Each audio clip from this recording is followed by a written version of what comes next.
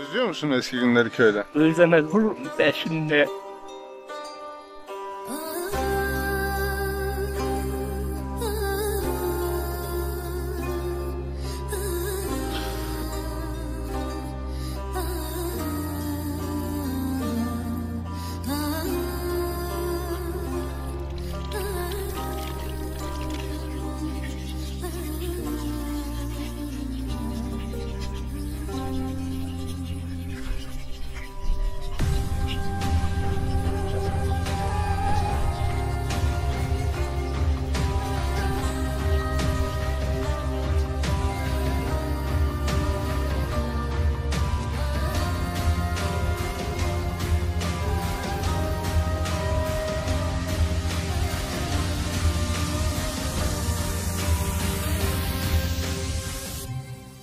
Ben bu köylüyüm.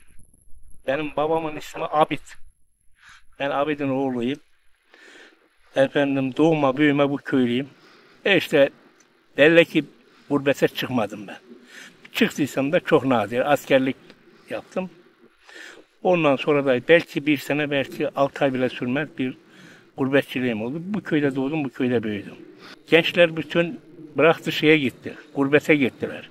Gurbete gitmeyen de bu devletimizin bu talebeyi çekmesi şehire köylerde hani arkadan yetişik olmadı mıydı köyde artık şeylik kalmadı. Geçim kaynağı kalmadı. Adam şeyden şehre kaçtı, şehre gitti.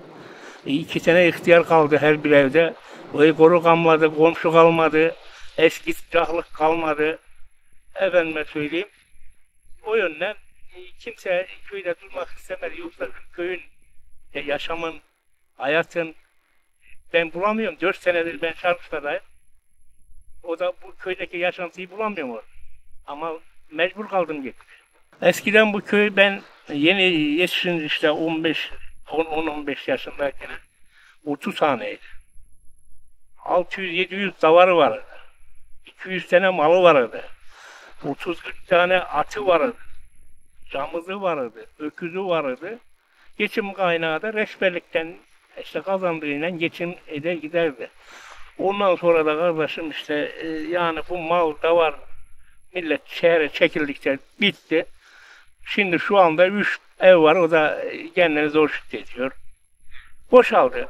Ramazan'da başladıktan sonra 30 haneydi. 30 gün her gün bir eve giderdik. Terapiyi kıldıktan sonra gider orada muhabbet yapardık. Çay içerdik.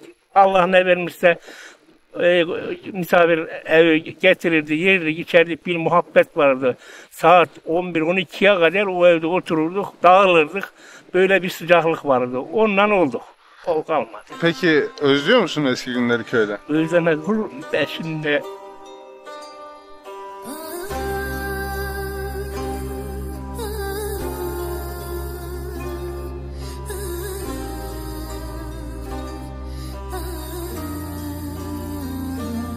bu köyün komşuluğu çok sıcak komşuluğumuz vardı. Çok. Muhabbetleri, birbirimize alışveriş yapmamız. Mesela ben de bir şey olmasa ben şarkıcıya gitmedim. Hemen yanımıza komşunun yanına giderdim. O ihtiyacımı giderirdim. O gün için işim görülürdü. E, İşte yani o şeyleri çok iyiydi. Şarkıcıya gittim ben adam şuradan bir iğneyi alıp da şuraya koymaya parasız. Biz iyice parasız gördük. Benim babam ustaydı.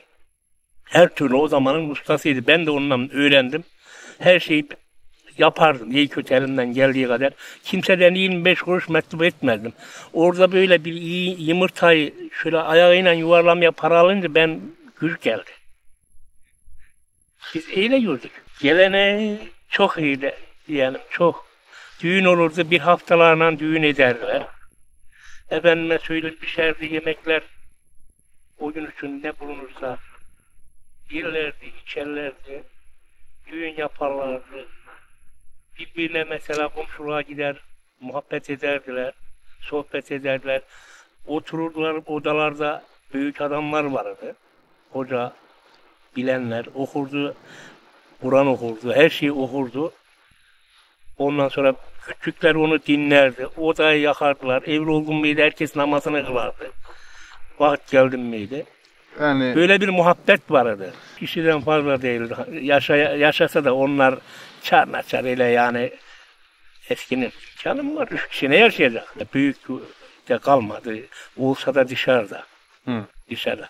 Ben de burada durmuyorum ama işte bugün çocuk e, şeyiydi. izinliydi. Öğretmen kendisi. Baba gidek de bir köy dolaşak dedi. Geldik buraya. E, şimdi onların hasretliğini şey diyorum. Şöyle dolanıyorum. Diyorum ki ya Rabbi burada ne günler geldi geçti, ne günler geldi geçti. Şimdi böyle viraneye döndü. Dağa taşa çıkıyorum her şey. Şu dağlar bile İnsan arıyor insan. İnsansız hiçbir şey olmuyor. Evvelden davar olurdu sürüyle. Kelek sesinden geçilmezdi. Hiç korkumuz, ürkümüz yoktu. Şuradan şuraya adım atamıyoruz. Dom, ayıptır söylemesi domuzdan geçilmiyor. Köpekten geçilmiyor. Vahşi hayvanlar aldı ortalığı. Şuradan inanırsan şuradan evden şu harmana çıkmaya korkuyorum. Oğlana çağıracağım ki hele yavrum biraz da gözlerde sorun var. Köpek ne olur da sürüsüne düşerim de. Çok yani şuralarda sürüyle. O da köyün terk edilmesiyle bir de şu yanda e, bütün pazara gelirler. Yıldız elinden, Yozgat'tan, Türkiye'nin her tarafından gelirler bizim Şarkışla pazarına.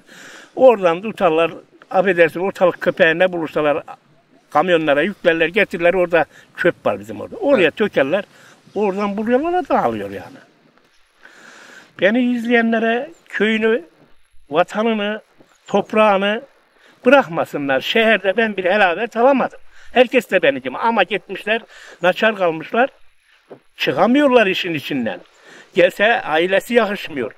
Çocuğu yapamıyor biri. Gelmeseler orada sıkılıp kalıyorlar. Öyle hiçbir şey yoktur. Gelsinler de işini güzel güzel görsünler. Köyü de neşelensin, devletler neşelensin.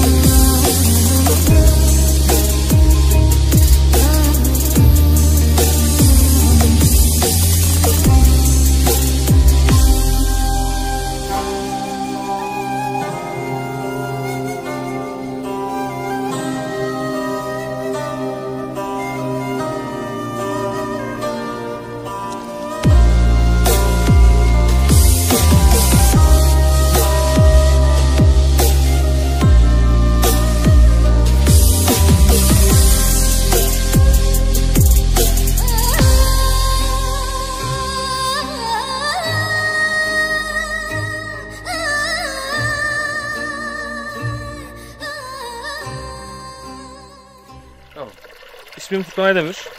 Ee, 23 yaşındayım. Sivas'ın e, Şarkışla ilçesinin Fakalı köyündenim. Ee, zamanında e, babamız doğma büyüme burada. Biz e, şehirde büyüdük. Fakat babam hala köyü bırakamadı. Biz de onunla beraber geliriz gideriz. Köyün eski örf adetlerini zamanında bizlere anlattılar. Şu an köyümüzde kimse kalmadı ama eskiden biraz daha kalabalıktı hatırladığım kadarıyla. Geldiğimiz yıllarda e, köydeki düğünler olsun, oyunlar olsun e, farklı ortamlar görme şansımız oldu. Ya bunun için kendimi şanslı hissediyorum. köyün enteresan bir ismi var. Babama sordum ismi neden Fakılı köyün diye. Ee, ismin Fakı kökeninden geldiğini söyledi bana. Fakı'nın anlamı da bilgili anlamına geliyor. Muhtemelen o sebeple böyle bir isim var köyün.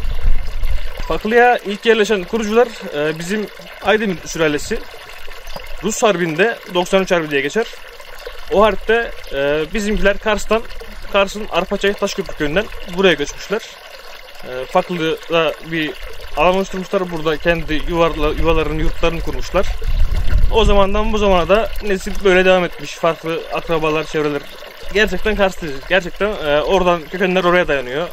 Soy ağacında da Edelet'te de görünüyor. Üst dedeler zamanında oradan buraya gelmişler. Köyün boş olmasından dolayı şunu söylemek isterim.